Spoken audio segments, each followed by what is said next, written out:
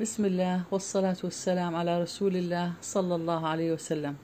صباح الخير. أتمنى تكونوا بخير متابعي الكرام.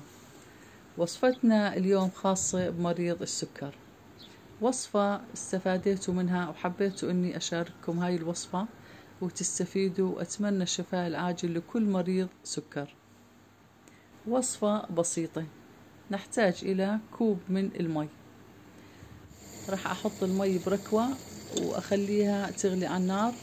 من يغلي المي راح أطفي النار وأحط ملعقة كبيرة من الكزبرة أرد مرة ثانية أشعل النار وتكون النار خفيفة وأتركها تغلي من أربع إلى خمس دقائق.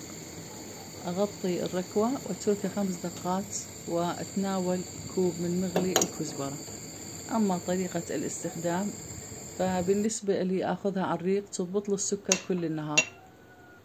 وتقدرون تاخذونها من مرة إلى ثلاث مرات قبل أو بعد الوجبة بربع ساعة.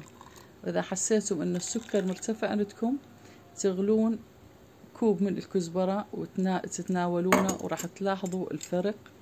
يكون السكر 400 راح ينزل للميتين.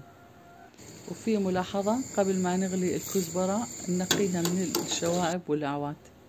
وبالشفاء العاجل كل مريض والسلام عليكم ورحمة الله وبركاته.